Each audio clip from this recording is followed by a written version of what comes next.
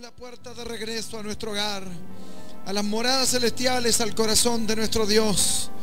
Padre nuestro que estás en los cielos. Gracias Señor, aleluya, por este momento que nos permite estar en tu casa, Señor, para reconocer y admirar la grandeza de tu amor.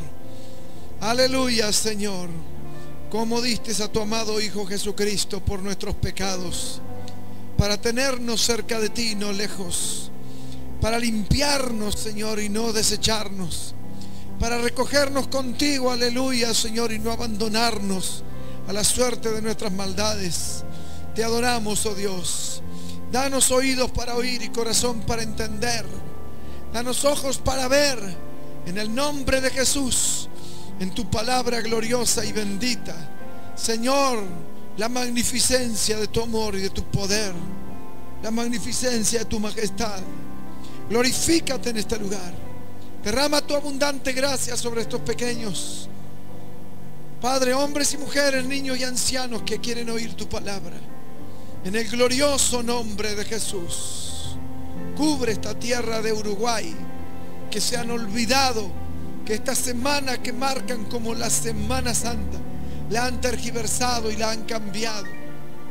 Y le han puesto tantos nombres para olvidarse de ti. Perdona esta tierra.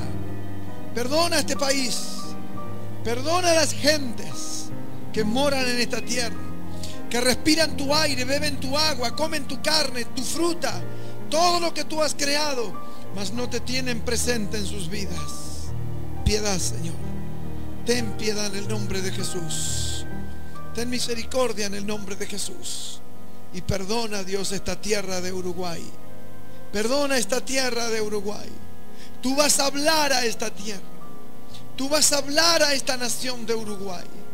Padre, en noviembre tú nos diste una visión grande y fuerte y terrible. Que se abriría, Señor, un volcán que está dormido, que es el Cerro de Montevideo. Y en el día de ayer ha temblado la ciudad de Montevideo. Tembló el cerro de Montevideo. Señor, algo se está preparando. Porque por las buenas esta nación no se quiere convertir. Y tú antes del rapto de la iglesia vas a sacar la varita. Y vas a, aleluya, a zumbar la varita sobre la cabeza de muchos. Y esta tierra sabrá que hay Dios. Que hay Dios. Si por las buenas no entran. Señor, hay muchos siervos que han caminado en esta tierra que no llegamos ni a conocerlos. Que han caminado grandes siervos, ungidos de Dios, que han derramado lágrimas por esta tierra. Y antes de cerrar el capítulo de la humanidad, tú estás repasando aquellos lugares donde los enviaste para que aquellas palabras proféticas que dijeron se cumplan en esta tierra. Por eso, padres, si por las buenas no entraron, entrarán por las malas bajo la varita de Dios. Tú me mostraste, Señor, que desde el obelisco de Montevideo hasta la Plaza Independencia se abría 18 de julio. Se tragaban los autos y los edificios se tumbaban. Padre, parece una locura, pero también ese, ese, ese volcán dormido por, por siglos. Oh, aleluya. Cuando tal vez no moraba ni siquiera el pie del hombre en esta tierra Oh, y tú preparaste todo para aquel día final, para que los hombres se vuelvan a ti. Gracias por tu fidelidad y por tu amor. Bendito sea el Señor que hizo los cielos y la tierra. Ten piedad y ten misericordia. Ten compasión de aquellos pequeñitos y, los, y el pueblo tuyo. Pues tú dices, Señor Jesús, aleluya, que los que son tuyos, ni un cabello perecerá de sus cabezas. De los que me temen y los que caminan conmigo y han guardado mi palabra, yo los guardaré de la hora de la prueba que viene sobre el mundo entero para probar a los que moran sobre la tierra. Te adoramos y te bendecimos y te damos gracias. Levanten sus manos al Señor y denle la gloria, denle la honra y denle la alabanza. Al que está sentado en el trono y al Cordero, sea el honor, sea la gloria y la majestad, el imperio y potencia por los siglos de los siglos. Señor, tú eres Señor del cielo y de la tierra. Y todo lo que hay debajo del cielo es tuyo y te pertenece, porque tú lo creaste. Y por tu palabra sustentas toda vida y toda carne. Y todo lo que respira es tuyo. Conoces todo lo que hay en los montes, en los mares. Y todo lo que corre en las praderas te pertenece a ti. Gracias por tu fidelidad. Tú eres nuestro Dios. Tú sustentas la vida de toda carne. Tú sustentas a los hombres. Conoces a todas las muchedumbres de hombres que hay debajo del cielo, pues hasta sus cabellos están contados. No hay nada que se escape delante de ti. Y el pecado es grande y la maldad del hombre es grande. Y la terquedad y la tosudez del hombre es grande. La soberbia del hombre es grande delante de ti para no reconocer que eres el Señor y que has salvado al hombre, pero no han querido tomar el camino de la salvación. Y los que están destinados para entrar, entrarán a la fuerza, pero entrarán y te honrarán. Y aleluya, y se humillarán y reconocerán tu amor y la grandeza de tu majestad y los demás se perderán, como dice tu palabra. La tercera parte se perderá. Bendito sea tu nombre para siempre. Danos ojos para ver, oídos para oír y corazón para entender, porque lo veremos, lo veremos, porque estaremos aún sobre la tierra cuando estos juicios comiencen. Pero tu espíritu está hablando a todo tu pueblo. No temáis, manada pequeña. A mi Padre le ha placido daros el reino. No temáis, no temáis, manada pequeña. mia canata, les andera la toca sondarán aquí. Ni un cabello de vuestras cabezas, de los que caminen de mi mano, perecerá. Alembra estota porta. Sondara mosaita. Dale una ofrenda aplauso al Señor. Gracias, Padre. Gracias, Hijo. Gracias, Espíritu Santo. Hay poder en Jesús. Gloria al Señor. Dios es bueno. Dígale que está a su lado, más bueno que tú y yo juntos. Les animo que tomen su asiento y vamos a abrir nuestras Biblias. Libro de Hebreos, capítulo 8 de la Biblia, la palabra de Dios. Hebreos capítulo 8, amados. Gloria a Jesús. Él está trabajando de una forma rápida y urgente. Porque el tiempo es corto. Y gloria a Dios por lo que viene sobre la tierra. A muchos se le van a estremecer los huesos. Pero quiero decirle que no dejan otra opción a Dios. Él habla, la gente oye, pero ponen su palabra tras sus espaldas. Entonces, quédese tranquilo, que Él va a hacer lo que Él sabe hacer. Usted debe levantar sus manos a Dios y decir, tú eres Dios, tú eres el Señor, tú eres el creador de toda carne y todo lo que hay debajo del cielo te pertenece. Tienes el derecho y tienes el deber de redimir a aquellos que están, aleluya, creados para la redención. Quiera Dios que usted esté creado para la redención. No sea cosa que esté al lado de una fuente de agua y se esté muriendo de sed. No puede ser. Pero crea Dios, quiera Dios que abra su corazón al punto de convertirse a Él. Convertirse significa pegar la vuelta. Convertirse es sinónimo de arrepentimiento. Es dejar ese camino para volverse a sus caminos. Por tanto, lo que el Señor quiere de nosotros es que dejemos nuestros caminos para andar por sus caminos. Quiera Dios que usted pueda entender esta noche eso. Convertirse al Señor es dejar nuestros caminos para transitar los caminos del Señor. Espero que abra bien sus oídos Usted puede preguntarle a cualquier persona, ¿cree en Dios? Sí. ¿Y se convirtió? Porque mucha gente cree que porque creen en Dios están salvos. Hay mucha gente que cree en Dios, pero no están salvos. La Biblia dice, ¿tú crees en Dios? Bien. Los demonios también creen y tiemblan. Eso significa que creer en Dios no te salvará. Creer en Dios es conocerle, Conocerle es amarle y temer a sus palabras y a su nombre, porque al conocerle sé que Él no hará acepción de personas.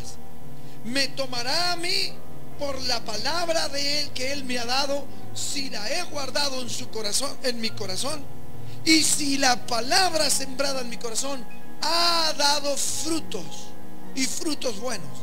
De lo contrario, será pesado mi corazón que ha recibido sus palabras, pero no se ha querido convertir.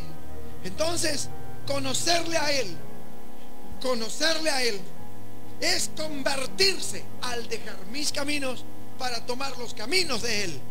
Para dejar mis caminos, debo de dejar de amar las cosas que yo tengo como importantes en mi vida para que las cosas de Él sean importantes en mi vida. Entonces las palabras de Él habrán entrado en mi corazón y habrán hecho casa y se habrán quedado ahí para siempre. ¿Está escuchando? Conocerle es convertirse.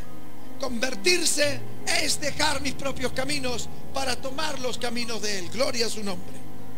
Eso es lo magnífico que sucede en nuestra vida. La obra más grande y poderosa de la presencia de Dios en nuestra vida es que Él permite que nos conviertamos.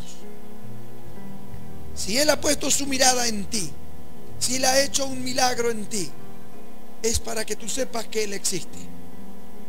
Ahora tú puedes creer en, en Él. Ahora puedes creer en Él. Porque sabes que Él existe. Te ha sanado, te ha tocado, te ha hablado con una palabra. Algo Él ha hecho contigo. Ahora tú sabes que Él existe. Ahora que sabes que Él existe, Él está esperando. ¿Qué haces tú con eso? Saber que Dios existe, decir yo creo, no te salva. Recuerda y ten temor de Dios. Porque hasta los demonios creen y tiemblan. Creer no basta. Hay que amarlo. Hay que conocerlo. Hay que proseguir en buscándolo a Él para poder conocerlo cada vez más. Hay que proseguir en el conocimiento de Dios. Y cuando Él ve que tú le buscas, Él abre la revelación y entonces el Espíritu se hace uno con la palabra escrita y se revela a tu espíritu la grandeza de su amor y su majestad y su poder. Y tú te abrazas más todavía a Él. Y Él más suelta de sus bendiciones sobre ti. Hasta que llegan a ser uno. De modo que no puedes vivir sin el Señor. Eso es lo que ha sucedido con la iglesia primitiva y con los cientos de miles a la redondez de la tierra que dan su vida por Él. Les roban sus bienes les quitan sus vidas, pero no le quitan su fe. Por, al matar su cuerpo, sus almas, sus espíritus parten a la presencia de aquel que han amado hasta el fin. Y usted que está vivo, quiera Dios que pueda creer en Él de esa manera. Porque ese es el propósito por lo cual venimos a la iglesia. Oír de Él un paso más. La escritura dice, línea sobre línea, renglón tras renglón, un poquito aquí y un poquito allá, hasta que sobre nosotros se abran las ventanas de los cielos y se derrame el espíritu de lo alto. Ese es el propósito por lo cual venimos a la iglesia. Hebreos capítulo 8. Ahora bien, el punto principal de lo que venimos diciendo, el punto principal de lo que venimos diciendo es que tenemos tal sumo sacerdote, el cual se sentó a la diestra, aleluya, en el, a la diestra del trono de Dios, a la diestra del trono de la majestad de los cielos. ¡Qué magnífico! Alguien que cuando estuvo en la tierra fue como yo. Lo pude tocar. Pude ver sus lágrimas en su rostro pude verlo cansado, transpirado, con hambre. Allí en Juan capítulo 4, cuando llegó a Samaria, al pozo de Jacob. Pude verlo como una persona común, llorando frente a un amigo muerto, frente a la tumba de Lázaro. Pude verlo a él preocupado al ver las multitudes, dispersas como ovejas que no tienen pastor. Pude verlo a él respetando a su madre y estando al lado de su madre y trabajando con su anciano padre en la carpintería. Pude verlo a él tomando su taza de leche, comiendo su pan caliente, jugando con su madre. Pude verlo a él como un ser humano más. Y lo magnífico que alguien que fue un ser humano como yo, de carne y hueso, traspasó los cielos más allá del sol y se sentó en el trono de Dios, a la derecha de Dios. Y ahora Él habiendo ofrecido su vida como el Cordero de Dios, Él puede interceder por usted y por mí. Yo tengo la seguridad y la certeza que no estoy solo. Hay alguien que me ama tanto al punto de morir por mí. Si fue capaz de morir por mí, es capaz de interceder por mí. Cualquier cosa en esta vida, pero no lo pierda a Él, porque lo que le robe este mundo, Él se lo va a dar cuadruplicado y hasta 100 veces le pagará por los actos de amor que usted haga hacia su nombre. Aleluya. No lo pierdas a Él. No lo pierdas a Él. Porque Él es ganancia para nuestras vidas y nuestras almas. Él es ganancia. Usted puede perder su madre. Dios le dará en la iglesia muchas madres. Usted podrá perder sus hermanos. Dios le dará muchos hermanos. Usted le podrán quitar su casa. Dios le está preparando una casa eterna en los cielos. Usted podrá perder el amor de la gente por ser cristiano y seguidor de Cristo. Pero quiero decirle que usted tendrá muchos cristianos que padecen lo mismo, que le amarán y le consolarán y le alentarán. Usted no está solo. Usted no es pobre. Usted no está abandonado. Usted parece desconocido, pero es bien conocido arriba en los cielos. Usted debe de caminar con la cabeza bien en alto y más cuanto vemos que aquel día que él prometió se acerca a pasos agigantados. Dele la honra y la gloria con un fuerte aplauso. Aleluya. Diga gloria a Dios. Diga gloria a Dios. Diga aleluya. Diga aleluya. Aleluya. Aleluya. Cristo vive. Cristo viene. Gloria a su nombre. Tenemos quien ora por mí. Tenemos quien está atendiendo. Tenemos quien recibe nuestra oración. Tenemos quien escucha nuestras lágrimas. Tenemos quien escucha nuestro gemido y que envía. Dice, envió acerca de mí y me hizo sacar del pozo de la desesperación. Confíe en Él. Hágalo su amigo. No viva su vida pensando que Él le va a quitar las cosas que usted ama. Al contrario, haciendo las cosas sin el consentimiento de Él, usted se está metiendo en un gran problema. Las cosas que usted ama, tiene que entregárselas al Señor. Entréguesela. Entréguesela al punto de tener el valor para preguntarle, ¿es tu voluntad para mi vida que yo haga esto? ¿Es tu voluntad para mi vida esta mujer? ¿Esta voluntad es tu voluntad para mi vida este hombre?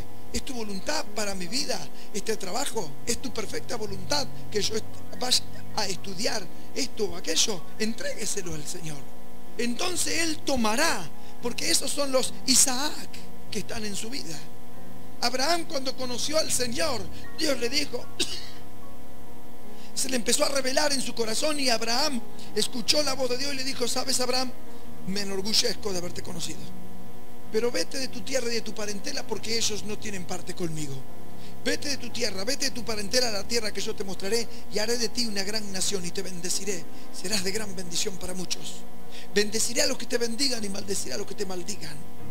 Y Abraham sintió la voz en su interior y cuando la sintió en su interior, todo su cuerpo se rindió a esa voz y entonces nadie pudo arrancarla de su interior y obedeció a Dios. Parecía un loco para su familia. Te vas, nos abandonás, pero a la edad que tenés, Abraham, son 70 años que tú tienes, 75 años. ¿Cómo tú puedes partir a esta hora?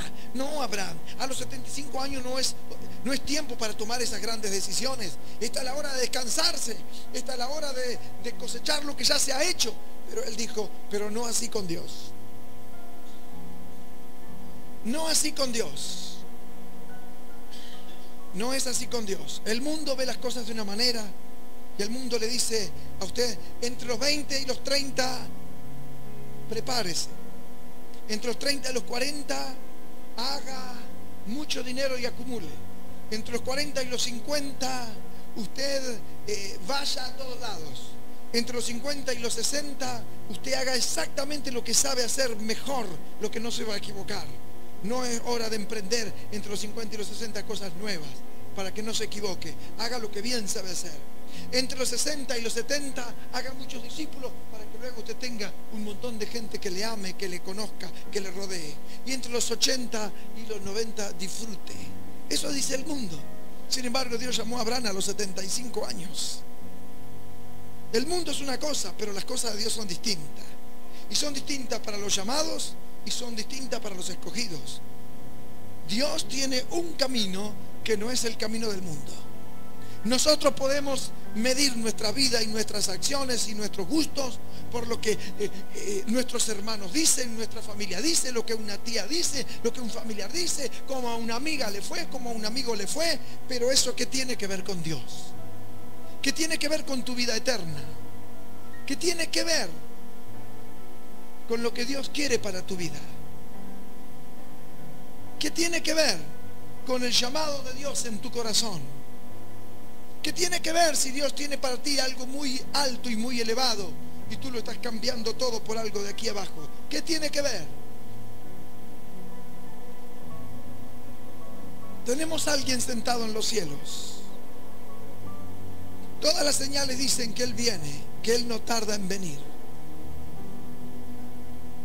Y aquí dice, el punto principal de lo que venimos diciendo es que tenemos tal sumo sacerdote, el cual se sentó a la diestra del trono de la majestad en los cielos, ministro del santuario y de aquel verdadero tabernáculo que levantó el Señor y no el hombre.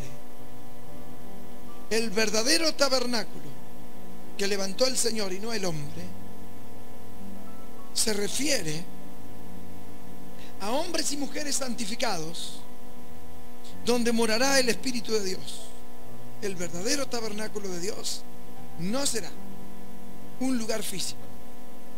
Si Dios es espíritu y Dios quiere morar en nosotros, nos tiene que limpiar de la corrupción que Lucifer trajo al mundo.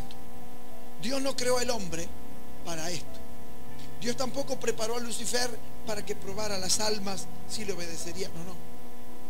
El sueño de Dios fue interrumpido. Pero Dios se propuso ahora hacer un plan limpiar la chanchada que el diablo hizo. Pero fue como el diablo no fue cualquier cosa, sino que fue alguien muy grande, el daño que hizo fue muy grande. Y entró a lo más sagrado que tiene el ser humano. Logró entrar a su ser interior. Y como logró entrar a su ser interior, en lo más profundo del corazón, la batalla se libró y es una batalla que para ser libre de esa batalla va la vida del ser humano. Por tanto, Dios, viendo la perdición de cientos de miles de seres humanos, Él mismo decidió hacerse un ser humano. Y Él mismo decidió venir a tapar ese agujero por donde las almas se iban al infierno. Cientos y cientos y cientos de miles de almas y de millones y millones y miles de millones de almas están en el infierno. ¿Está escuchando? Y cada tres segundos usted puede contar. Uno, dos, tres. Pum, cae uno. Uno, dos, tres, cae otro. Uno, dos, tres, cae otro. Uno, dos, tres, cae otro al infierno. Cada, cada tres segundos está cayendo un alma en este momento al infierno. No es la voluntad de Dios que eso suceda. La voluntad de Dios es que Él quiere cumplir con su sueño. Pero Dios no puede decir como muchos de nosotros quisiéramos, que Dios diga, basta, saca al diablo del mundo y todas las almas se las lleva al infierno. No puede ser.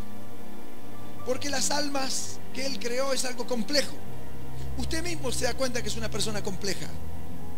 Usted tiene sentidos, tiene emociones, tiene gustos, tiene deseos. Usted habla con usted mismo, habla con su cuerpo, siente los deseos de su cuerpo, siente los anhelos de su alma, siente que en su espíritu en lo profundo usted tiene miedo a ciertas cosas, pero quisiera realmente aquella presencia gloriosa de Dios en su vida, porque si la gustó, si gustó el don celestial, usted sabe que es real.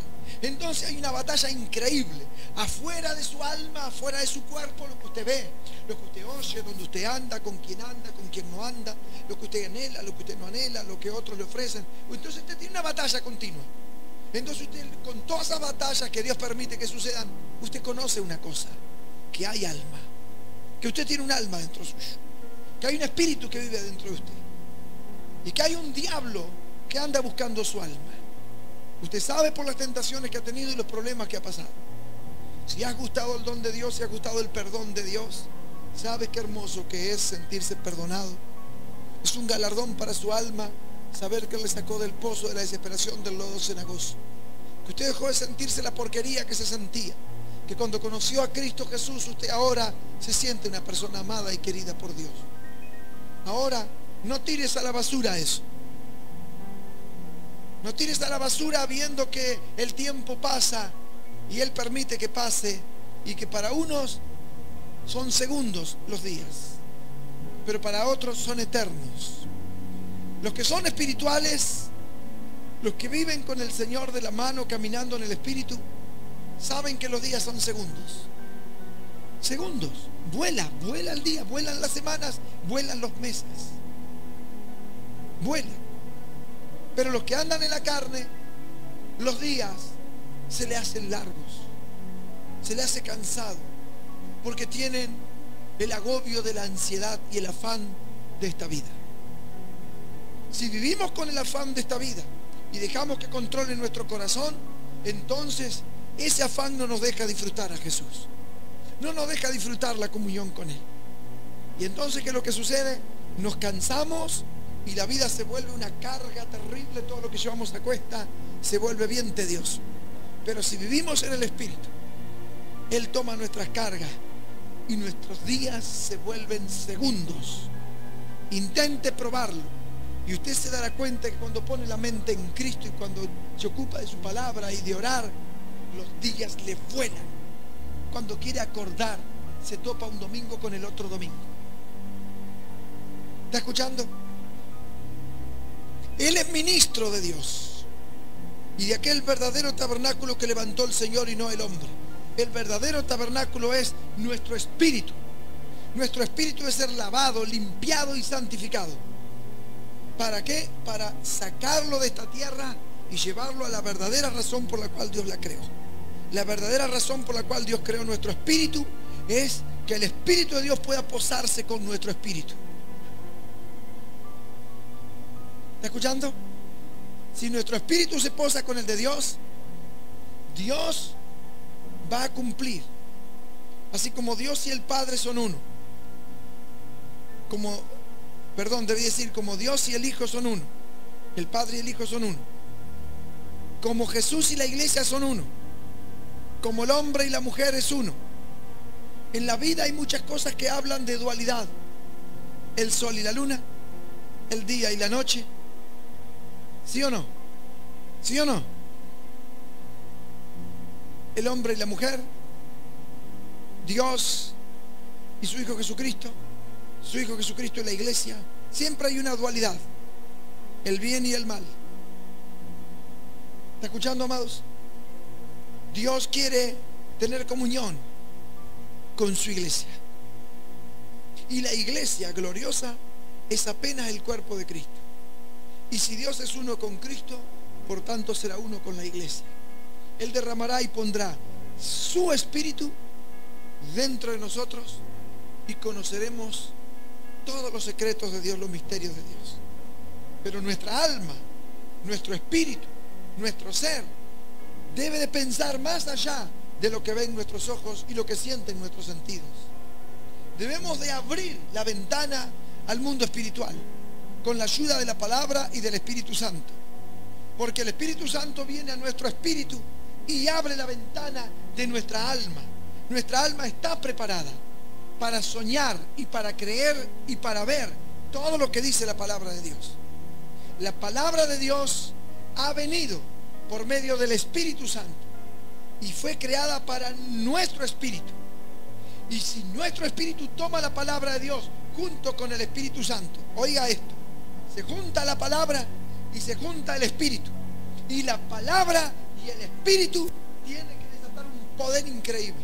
Y ese poder, ese poder está en poder salir con nuestra mente y nuestro pensamiento de nuestro entorno y poder creer en la vida eterna que Dios nos ha regalado. En su palabra está detallada la vida eterna. En su palabra está detallado el fin del mundo. En su palabra está detallado que todo lo que se ve está preparado para la palabra de Dios para que el fuego y los elementos ardiendo serán deshechos y todas las obras que hay serán quemadas. En su palabra dice que el cielo se envolverá como un pergamino y el cosmos desaparecerá y todo lo que es movible será removido para que quede lo eterno y lo verdadero. En su palabra está escrito para que nosotros lo veamos y lo creamos. y creyéndolo lo adquiramos. No podemos adquirir algo de lo cual no creemos. Se tiene que dar para ser herederos de Dios, se tiene que dar primero el creer. ¿Cuántos dicen, Señor, yo creo? Levante la mano y diga, Señor, yo creo. Todo lo que tú quieres que yo crea. Señor, yo soy. Todo lo que tú quieres que yo sea. Señor, yo iré a donde tú quieres que yo vaya.